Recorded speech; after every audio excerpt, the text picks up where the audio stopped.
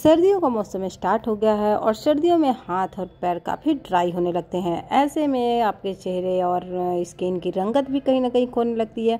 तो अपने चेहरे की रंगत बनाए रखने के लिए आज आपके साथ मैं डी जो रेमेडी शेयर कर रही हूँ न कि आपके चेहरे की रंगत लौट आएगी, बल्कि आपके चेहरे के दाग धब्बों को दूर करके आपके चेहरे से ड्राइनेस को भी दूर करेगी। वीडियो में शुरू से अंत तक बने रहिएगा स्टेप बाय स्टेप देखते रहिएगा।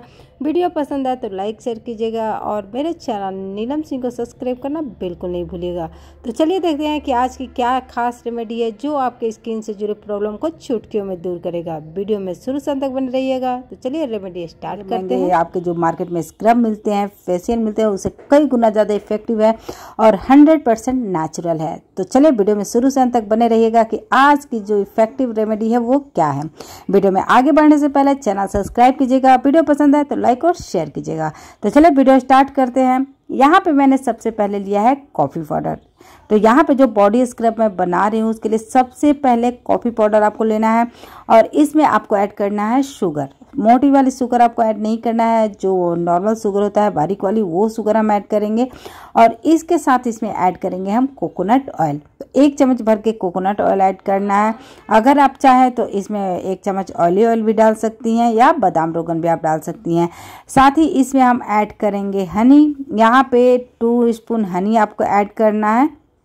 और उसके बाद इसमें हम ऐड करेंगे हाफ़ लेमन के जूस हाफ़ लेमन के जूस, यानी एक से डेढ़ चम्मच आपको लेमन के जूस ऐड करने हैं और इनको अच्छी तरह से हमें मिक्स कर लेना है। एक इंग्रेडिएंट्स इसमें मैं और ऐड करूँगी, वो है aloe vera gel aloe vera gel आप फ्रेश भी अगर बॉडी स्क्रब बना रही है तो लगा सकती हैं, लेकिन अगर आप इसको स्टोर करने के लिए बना रही हैं तो उसमें आप एलोवेरा जेल जो मार्केट में आती है, वो वाला यूज़ कर सकती हैं। तो यहाँ पे दो चम्मच भर के हम एलोवेरा जेल लेंगे और इसे अच्छी तरह से हम मिक्स कर लेंगे। यहाँ पर देखिए मैंने कॉफ़ी का यूज़ किया है तो कॉफ़ी में कई एंटी एंटीऑक्सीडेंट होते हैं, जो स्किन को नुकसान पहुँचाने वाले फ्री रेडिकल से लड़ने में मदद करते हैं। कॉफ़ी एक अच्छा स्क्रब के तौर पे भी काम करता है। यह त्वचा से सभी गंदगी और डेड सेल्स को साफ़ करने के साथ साथ सेल्स का दोबारा निर्माण करने में भी मदद करता है। ये आपके चेहरे में कसाव लाता है, साथ ही आपके स्किन को ग्लोइंग बनाता है, दाग धब्बों को दूर करता है और ये इस्तेमाल करने से आपकी स्किन बहुत ज़्यादा फेयर होती है। ग्लोइंग बनती है आपकी स्किन तो इसलिए यहाँ पे मैंने इस, यहाँ पे कॉफ़ी पाउडर मैंने लिया है। साथ ही यहाँ पे लेमन यूज़ किया है, क्योंकि लेमन एक नेचुरल ब्लीच का काम करता है, जो आपके स्किन को ब्राइट करने में काफ़ी मदद करेगा। यहाँ पे कोकोनट ऑयल आपके स्किन को फेयर करेगा सॉफ्ट बनाएगा, मुलायम बनाने में काफ़ी मदद करेगा। साथ ही यहाँ पे मैंने लिया है, यहाँ पे हनी जो आपके स्किन को अच्छी तरह मॉइस्चराइज करके उन्हें सॉफ्ट मुलायम बनाएगा। तो इतने सारे इंग्रेडिएंट्स आपके बॉडी को तो ज़ाहिर बात है कि बहुत ज़्यादा बेनिफिट्स देंगे ही देंगे और एक ही बार में रिज़ल्ट साफ़ दिखाई देगा। अब आपको क्या करना है कि इसे थोड़ा सा लेना है और हल्के हल्के हाथों से आपको रब करना है।